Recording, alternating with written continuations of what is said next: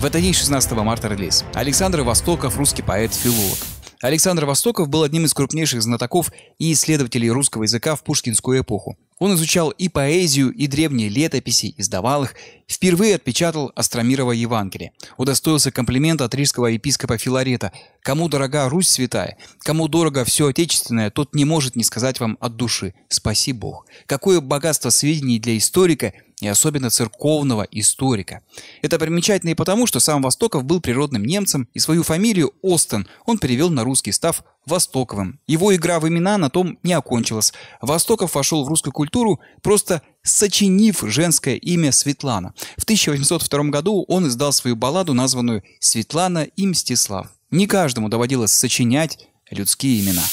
Также 16 марта родились Александр Попов, физик, изобретатель радио, Александр Беляев, российский писатель-фантаст, автор романов «Голова профессора Доуэля», «Человек-амфибия», Владимир Комаров, космонавт. За космонавтом Владимиром Комаровым два рекорда, один из которых печальны. Это первый человек в мире, который побывал на орбите Земли дважды. И это первый человек, который погиб при выполнении космической миссии. Как все первые космонавты, Владимир Комаров был из военных летчиков. Родился в столице, поступил в первую московскую спецшколу ВВС. Потом было авиационное училище, служба на Кавказе, Закарпатье, Однако, в отличие от большинства других коллег, Комаров имел вторую ценнейшую специальность. В 1959 году он окончил военно-воздушную академию как инженер, и в этом качестве оказался полезен для космической программы.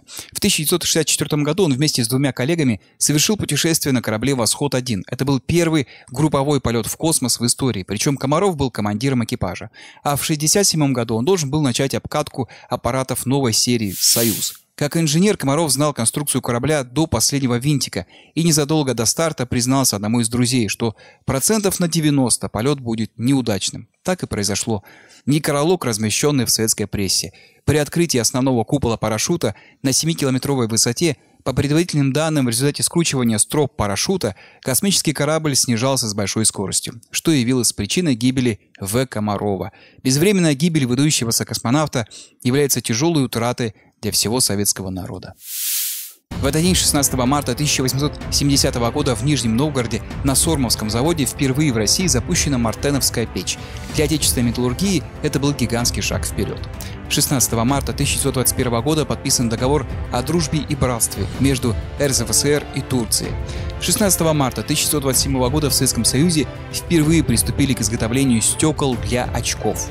16 марта 1934 года Центральный комитет ВКПБ одобрил предложение Московского комитета партии о сносе Сухаревой башни, уникального памятника архитектуры 17 века. Два с лишним столетия Сухарева башня была одним из символов Москвы. Главный знаток столицы Гелеровский много писал о ней, о рынке рядом, о целом районе, названном Сухаревкой. Высоко стояла вековая Сухарева башня с ее огромными часами. Издалека было видно. В верхних ее этажах помещались огромные цистерны водопровода, снабжавшего водой Москву. Много легенд ходило о Сухаревой башне. Здесь была Петром открыта знаменитая навигатская школа, а Яков Брюс, его ближайший сподвижник, завел при школе первый в России научный центр. В башне он проводил первые астрономические наблюдения. Но вот в 1934 году, несмотря на протесты многих архитекторов, большевики приговорили к сносу городскую легенду. Знаменитый искусствовед Грабарь записал – на этих днях выплыл один особенно неприемлемый по своей явной нелепости проект сноса Сухаревой башни. Всерьез, вы допускаете, чтобы в один прекрасный день вздумали уничтожить картину Рафаэля, рукопись Бетховена или Гёте? Для чего? Из каких соображений? Что за кошмар? Но башня якобы была ветхой, якобы некрасивой.